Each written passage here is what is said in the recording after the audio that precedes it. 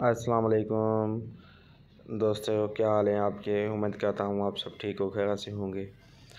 Dear students میری کوشش ہوتی ہے کہ میں آپ کے ساتھ کوئی نیو انفارمیشن پیش کروں آپ کے خدمت میں۔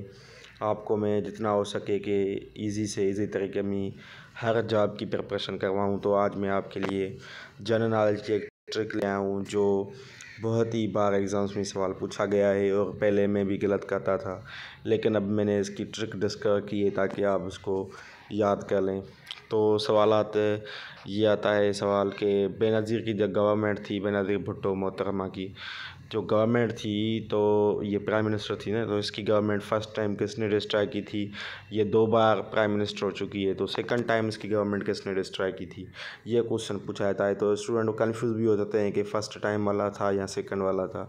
لیکن آلموسٹ کینڈیڈیٹس کو یہ بھی پتہ ہوتا ہے کہ اس اس بندے نے اس کی گورنمنٹ ڈسٹرائی کی تھی، ٹھیک ہے نا؟ لیکن یہ پتہ نہیں ہوتا کہ فرسٹ ٹائم میں کون تھا سیکنڈ ٹائم میں کون تھا۔ تو اس کے لیے آسان ٹرک بنائیے ایف ایف آپ نے انگلش ورڈ سنا ہے نا ایف آئی ایف ایف ٹھیک ہے نا، یہ انگلش کا ورڈ ہے، تو یہ ٹرک ہے۔ بے نظیر کی جو ایف مطلب آئی مطلب فرسٹ گورنمنٹ جو ہے وہ اسحاق خان نے ڈسٹرائی کی سیکنڈ گورنمنٹ جو ہے وہ ایف نے مطلب فاروق خان لگا صاحب نے، ٹھیک ہے نا۔ تو یہ دو مرتبہ جو بے بھٹو کی محترمہ کی گورنمنٹ ڈسٹرائی ہوئی ہے، تو اس کی ٹرک ہے ایف ہے ایف یاد کر لیں تو آپ کو دو بار یاد ہو جائے گی۔ فرسٹ میں آئی سے اسحاق سیکنڈ میں ایف سے فاروق، یہ یاد کر لیں۔ اس کے بعد ارتھ کے لیے اس کا آرڈر پوچھتے ہیں کہ پہلے کون ہے، پھر کون سا ہے، پھر کون سا ہے۔ تو اس کے لیے میں نے سی ایم سی کی ٹرک بنائی ہے۔ سی ایم سی آپ نے سنا بھی ہوگا۔ سی ایم سی کہتے ہیں چانڈ کا میڈیکل کالج جو لاڑکا نامی ہے سی ایم سی ہے۔ تو اس کی یہ ٹرک ہے مطلب یاد کرنے کی ارتھ کے لیئرس کی۔ سب سے پہلے سی والا آئے گا مطلب کرسٹ آؤٹر موسٹ ہے سب سے۔ اس کے بعد مینٹل مینٹل ایم سے مڈل بی ایم سے، تو یہ بھی آسان ٹرک ہو گئی۔ اس کے بعد کور آتا ہے جو انر موسٹ ہوتا ہے، تو سی ایم سی یاد کر لیں۔ سب سے پہلے جس، جہاں پہ ہم رہتے ہیں، یہ کرسٹ ہے۔ پھر بیچ میں مینٹل آتا ہے، پھر جو لاسٹ میں آتا ہے، وہ کور آتا ہے۔